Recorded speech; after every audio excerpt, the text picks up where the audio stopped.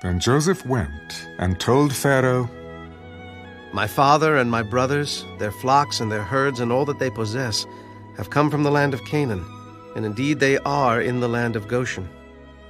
And he took five men from among his brothers and presented them to Pharaoh. Then Pharaoh said to his brothers, What is your occupation? Your servants are shepherds, both we and also our fathers. We have come to dwell in the land, because your servants have no pasture for their flocks, for the famine is severe in the land of Canaan. Now therefore, please, let your servants dwell in the land of Goshen. Then Pharaoh spoke to Joseph, Your father and your brothers have come to you. The land of Egypt is before you. Have your father and brothers dwell in the best of the land. Let them dwell in the land of Goshen. And if you know any competent men among them, then make them chief herdsmen over my livestock. Then Joseph brought in his father Jacob and set him before Pharaoh. And Jacob blessed Pharaoh. Pharaoh said to Jacob, How old are you? The days of the years of my pilgrimage are 130 years. Few and evil have been the days of the years of my life, and they have not attained to the days of the years of the life of my fathers in the days of their pilgrimage. So Jacob blessed Pharaoh and went out from before Pharaoh.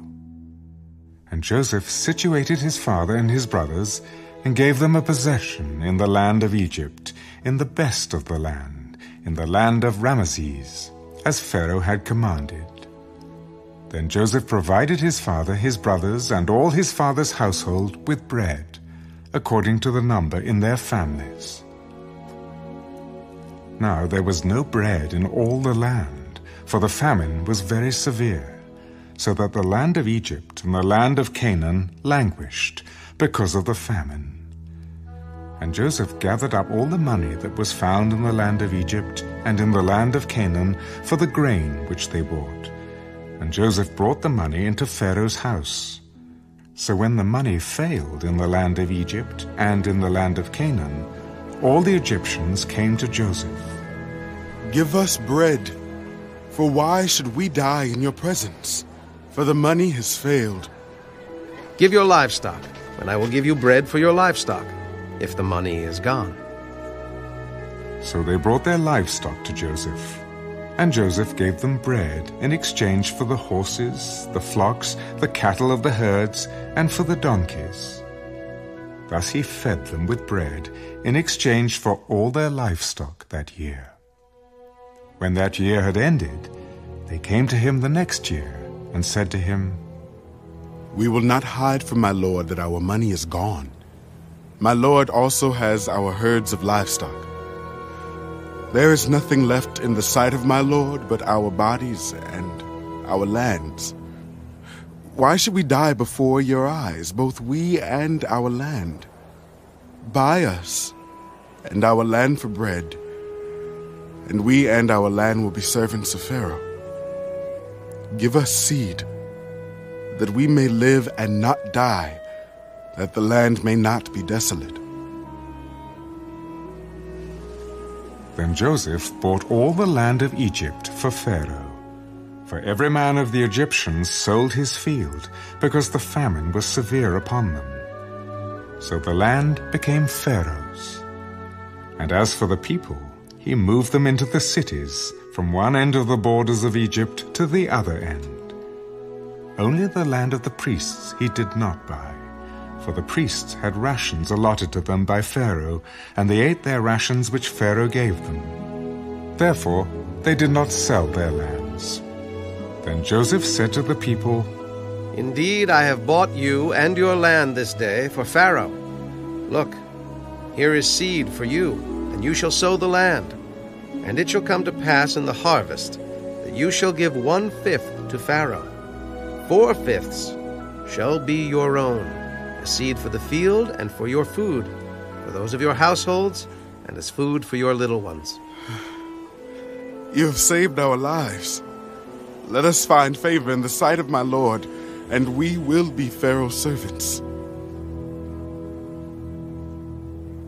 And Joseph made it a law over the land of Egypt to this day that Pharaoh should have one fifth, except for the land of the priests only, which did not become Pharaoh's. So Israel dwelt in the land of Egypt, in the country of Goshen, and they had possessions there, and grew and multiplied exceedingly. And Jacob lived in the land of Egypt seventeen years. So the length of Jacob's life was 147 years. When the time drew near that Israel must die, he called his son Joseph. Now, if I have found favor in your sight, please put your hand under my thigh and deal kindly and truly with me. Please do not bury me in Egypt, but let me lie with my fathers. You shall carry me out of Egypt and bury me in their burial place. I will do as you have said. Swear to me. And he swore to him. So Israel bowed himself on the head of the bed.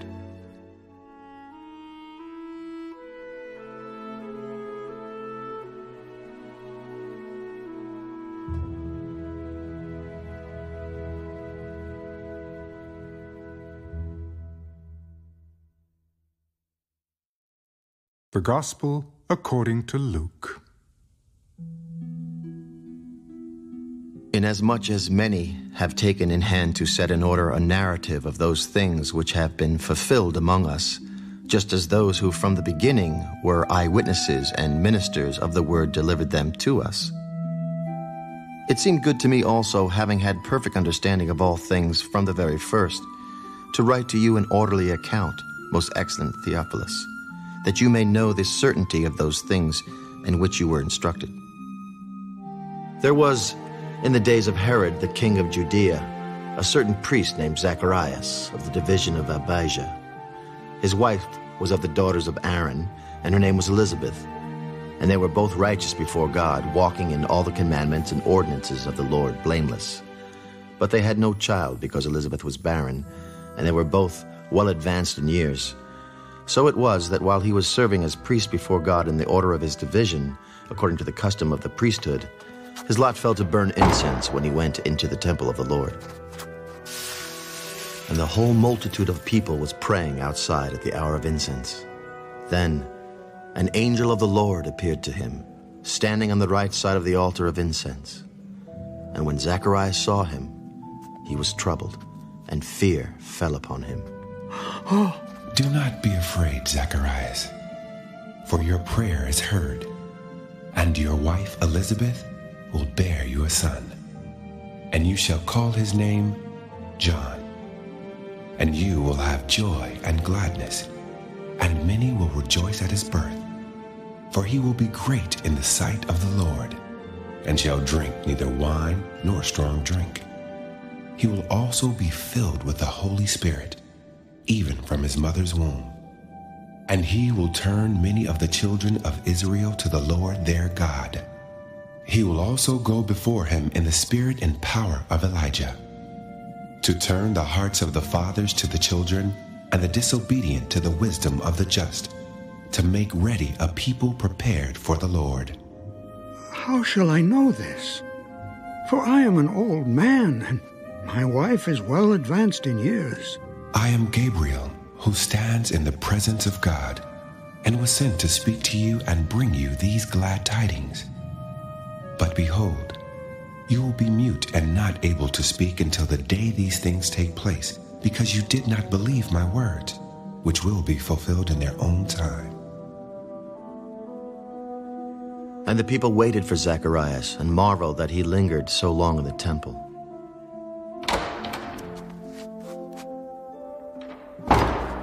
But when he came out, he could not speak to them, and they perceived that he had seen a vision in the temple, for he beckoned to them and remained speechless. So it was, as soon as the days of his service were completed, that he departed to his own house. Now after those days his wife Elizabeth conceived, and she hid herself five months. Thus the Lord has dealt with me in the days when he looked on me to take away my reproach among people. Now, in the sixth month, the angel Gabriel was sent by God to a city of Galilee named Nazareth, to a virgin betrothed to a man whose name was Joseph, of the house of David. The virgin's name was Mary, and having come in, the angel said to her, Rejoice, highly favored one. The Lord is with you. Blessed are you among women. But when she saw him, she was troubled at his saying, and considered what manner of greeting this was. Do not be afraid, Mary, for you have found favor with God. And behold, you will conceive in your womb and bring forth a son, and shall call his name Jesus. He will be great, and will be called the Son of the Highest. And the Lord God will give him the throne of his father David, and he will reign over the house of Jacob forever, and of his kingdom there will be no end. How can this be, since I do not know a man? The Holy Spirit will come upon you, and the power of the highest will overshadow you. Therefore also, that Holy One who is to be born will be called the Son of God. Now indeed, Elizabeth, your relative, has also conceived a son in her old age. And this is now the sixth month for her who was called barren. For with God, nothing will be impossible. Behold, the maidservant of the Lord. Let it be to me according to your word. And the angel departed from her.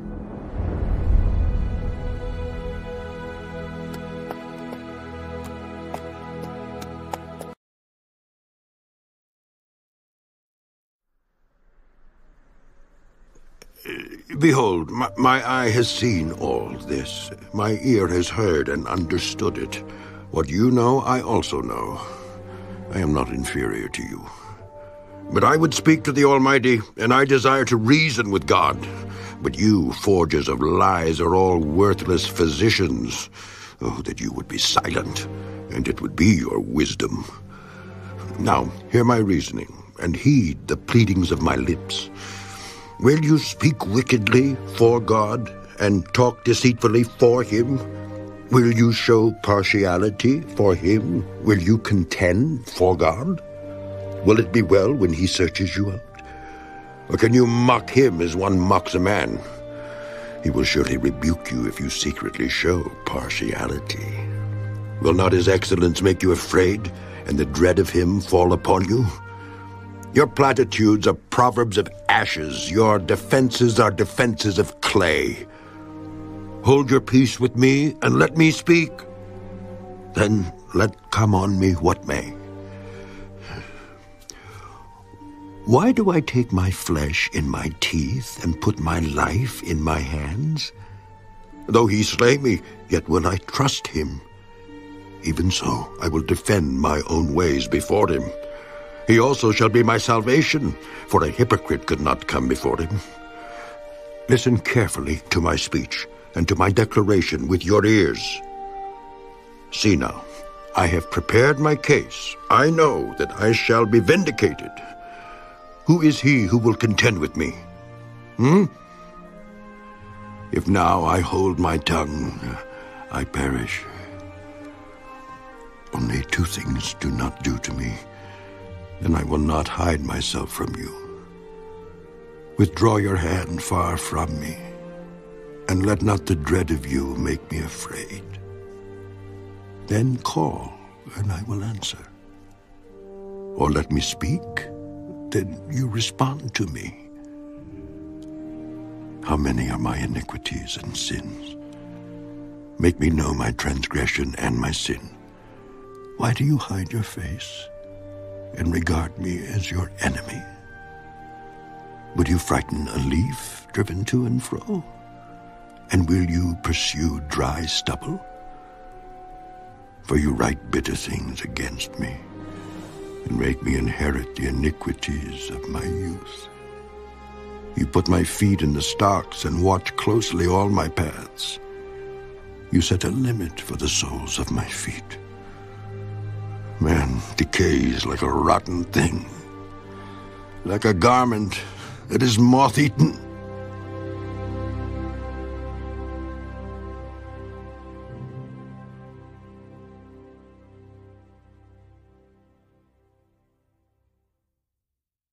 The first epistle of Paul to the Corinthians.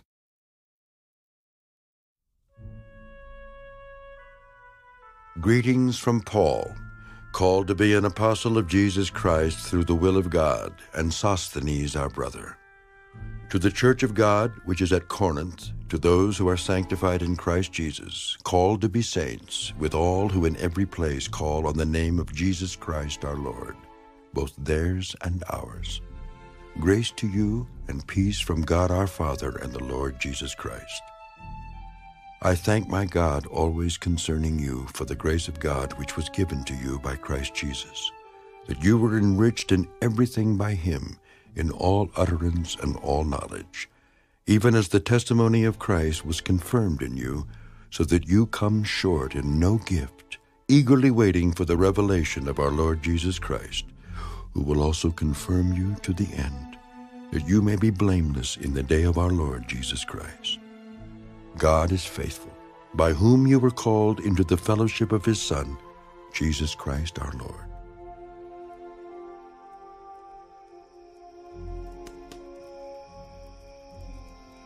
Now I plead with you, brethren, by the name of our Lord Jesus Christ, that you all speak the same thing, and that there be no divisions among you, but that you be perfectly joined together in the same mind and in the same judgment. For it has been declared to me concerning you, my brethren, by those of Chloe's household, that there are contentions among you. Now I say this, that each of you says, I am of Paul, or I am of Apollos, or I am of Cephas, or I am of Christ. Is Christ divided? Was Paul crucified for you? Or were you baptized in the name of Paul? I thank God that I baptized none of you except Crispus and Gaius, lest anyone should say that I had baptized in my own name. Yes, I also baptized the household of Stephanas. Besides, I do not know whether I baptized any other. For Christ did not send me to baptize, but to preach the gospel, not with wisdom of words, lest the cross of Christ should be made of no effect. For the message of the cross is foolishness to those who are perishing, but to us who are being saved, it is the power of God. For it is written, I will destroy the wisdom of the wise, and bring to nothing the understanding of the prudent. Where is the wise? Where is the scribe? Where is the disputer of this age? Has not God made foolish the wisdom of this world? For since, in the wisdom of God, the world through wisdom did not know God, it pleased God through the foolishness of the message preached to save those who believe. For Jews request a sign, and Greeks seek after wisdom, but we preach Christ crucified. To the Jews, a stumbling block, and to the Greeks, foolishness. But to those who are called, both Jews and Greeks, Christ, the power of God, and the wisdom of God. Because the foolishness of God is wiser than men, and the weakness of God is stronger than men. For you see your calling, brethren, that not many wise according to the flesh, not many mighty, not many noble are called. But God has chosen the foolish things of the world to put to shame the wise, and God has chosen the weak things of the world to put to shame the things which are mighty, and the base things of the world, and the things which are despised God has chosen, and the things which are not, to bring to nothing the things that are, that no flesh should glory in his presence. But of him you are in Christ Jesus, who became for us wisdom from God, and righteousness, and sanctification, and redemption, that as it is written, He who glories, let him glory in the Lord.